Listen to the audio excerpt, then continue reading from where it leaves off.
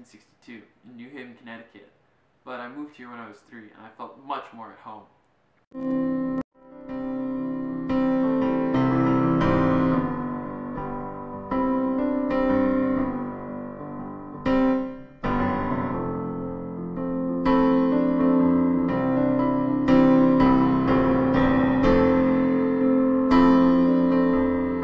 I went to Acadia and I graduated in 1984.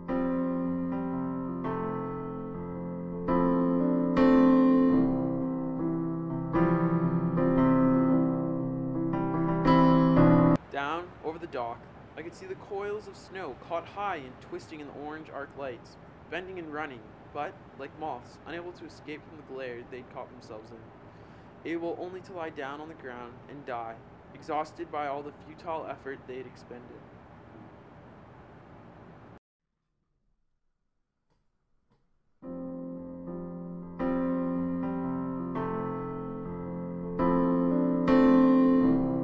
I'm the editor in chief and columnist at the St. John's Telegram. I am also a volunteer firefighter, and my book, Burning Down the House, is based on my personal experiences from this.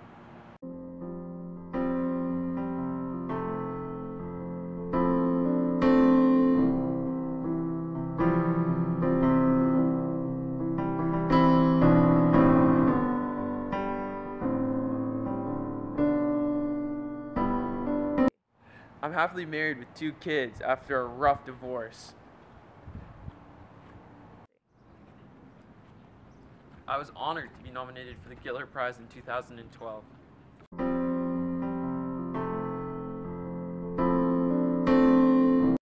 For a list of awards I actually won, go to russellwangersky.com.